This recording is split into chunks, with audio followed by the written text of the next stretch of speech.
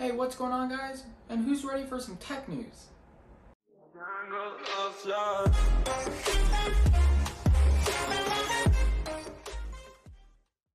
So last Monday, AMD announced that they plan on dropping a new EPYC CPU with the codename Bergamo. It is supposed to have a whole whopping 128 cores. These chips are meant for data center cloud computing with special power efficiency and scaling features. I mean, why would you need all these cores in your gaming rig? Of course, these are going to be meant for servers. They also plan on releasing a Genoa with 96 cores, which is nothing to be too impressed about. These CPUs are supposed to be dropping around late next year or early 2023. So if you're building an epic server, you still got some time. And yes, that pun was intended.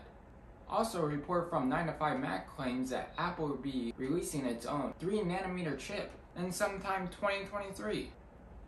This is a big deal concerning the currently in Apple chips have a 5nm chip, which have showed some super impressive performance.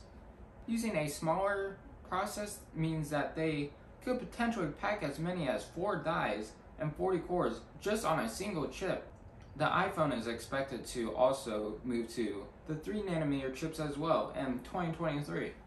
So Apple is making some big moves in the CPU world. Imagine if they allowed people to buy the chips itself and put in motherboards that have the right socket for that CPU.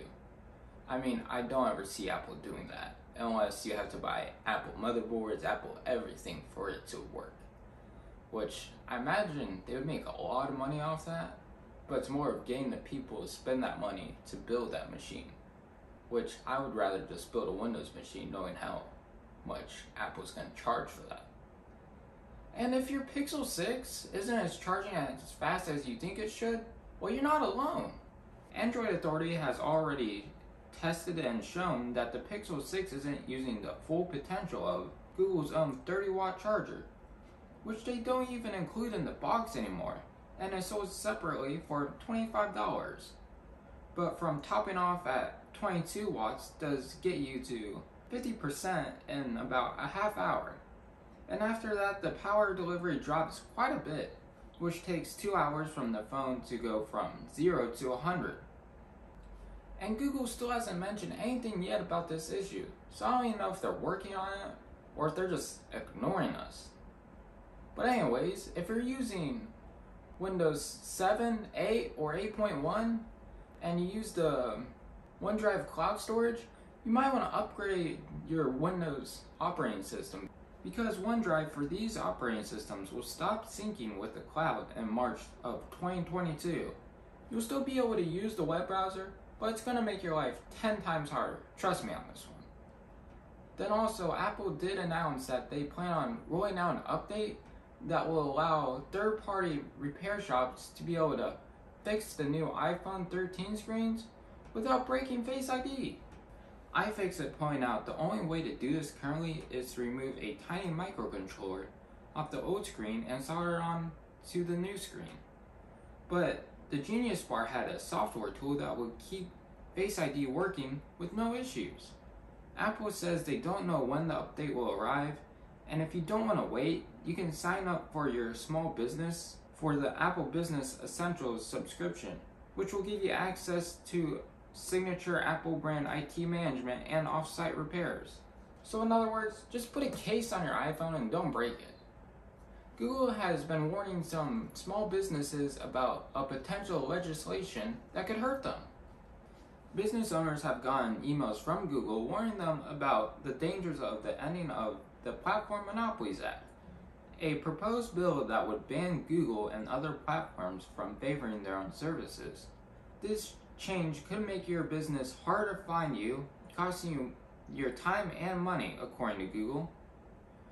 Big tech companies are under more of a threat proposed regulation than ever.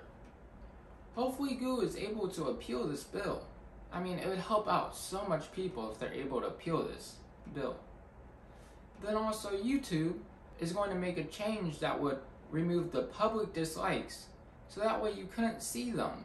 YouTube says their research showed that this measure reduces the likelihood users will target a video's dislike to drive down the discount. YouTube creators will still be able to see the dislike counts in the YouTube studio. My opinion on this as a tech enthusiast, I don't really like this idea because trying to find a review on a certain product, I might look at the dislikes compared to other videos because not every video goes in depth into review as others. So if I'm trying to find a more in-depth review, I might look for the video that has the least amount of dislikes. Then Microsoft also announced the new Surface SE, which is specifically designed for schools and students whose only entities actually allowed to buy one.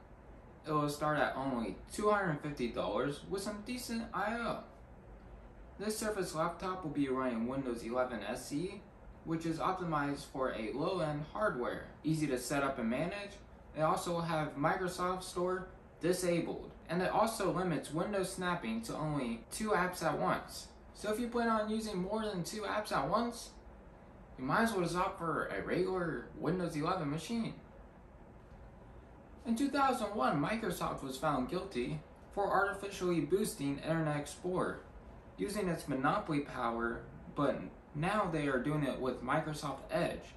The latest version of Windows 11 breaks the functionality with a widely used tool named Edge Deflector, used to ease Microsoft's annoying practice of making every built-in Windows feature open in Edge, even if you have a different default browser.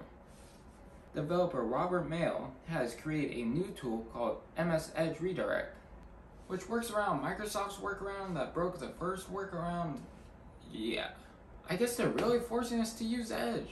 Oh my Microsoft. We just want to use Chrome or Firefox. Come on. Anyways, guys, that's it for this tech news video. I really hope you guys like this video. Comment down below on any ideas for videos you guys like to see, or even just some things you think I should work on personally with creating better content for you guys.